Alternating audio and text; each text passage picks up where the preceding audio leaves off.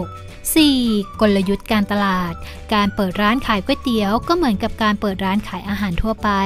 ควรที่จะทำการตลาดสร้างสีสันบ้าง มีเมนูพิเศษหรืออะไรแปลกๆ ที่เป็นทางเลือกแก่ลูกค้าบ้าง เช่น บริการผักหรือเครื่องเคียงเพิ่ม เพื่อทานกับก๋วยเตี๋ยว บริการเครื่องดื่มของหวานผลไม้ ชากาแฟ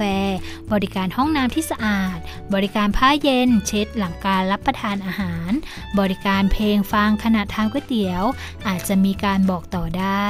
5. วัตถุดิบ วัตถุดิบที่นำมาปรุงก๋วยเตี๋ยวหรือน้ำซุป ต้องเป็นวัตถุดิบสดใหม่ทุกวันเพราะลูกค้าที่มาทานก๋วยเตี๋ยวที่ร้านล้วนคาดหวังก๋วยเตี๋ยวทานได้ทั้งวันจากน้ำซุปหม้อเดิม ที่เคี่ยวมาทั้งวัน ไม่เพียงเท่านั้นวัตถุดิบอื่นๆ ไม่ว่าจะเป็นผักที่เป็นเครื่องเคียง กระเทียมเจียว ถั่วลิสงคั่ว พริกเผาและส่วนผสมอื่นๆล้วนแต่ต้องเตรียมวันต่อวัน เพื่อให้เกิดความสดใหม่ 6. กลุ่มเป้าหมายวงกว้าง ร้านก๋วยเตี๋ยวที่ดีควรที่จะสามารถเข้าถึงกลุ่มลูกค้าได้หลายช่วงวัย ไม่ว่าจะเป็นวัยคนทำงาน คนแก่และเด็กเพื่อที่จะทำให้สามารถกระจายการขายไปได้ทั่วอย่างกว้างขวางในกลุ่มของลูกค้าดังกล่าว จึงจะสามารถทำให้เกิดรายได้ที่มากขึ้น เพราะมีกลุ่มเป้าหมายที่กว้าง แต่ความยากคือเรื่องของสูตรที่ต้องปรับเพื่อให้ถูกปากกับลูกค้าแต่ละกลุ่มนั่นเอง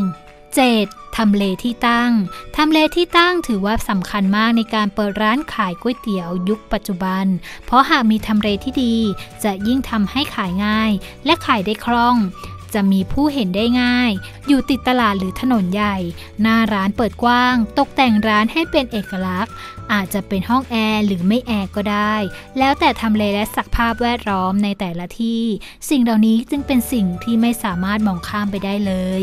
และทั้งหมดเป็น 7 กลยุทธ์สำคัญในการเปิดร้านขายก๋วยเตี๋ยว ให้เป็นอาชีพอิสระที่ไม่มีวันเจ๊ง เรียกได้ว่าสามารถทำธุรกิจไปได้ชั่วลูกชั่วหลาน จากที่เปิดเพียงแค่ร้านเดียว อาจจะขยายสาขาไปทั่วประเทศก็เป็นไปได้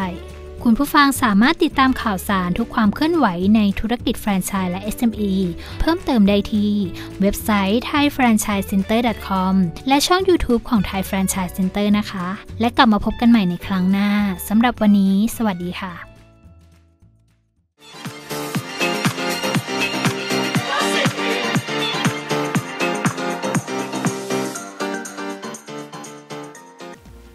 สำหรับการรับชมนะคะ หากท่านชอบคลิปนี้นะคะ อย่าลืมกดไลค์และกดแชร์ และสิ่งสำคัญเลยนะคะ อย่าลืมกด Subscribe ตามด้านล่างนี้เลยค่ะ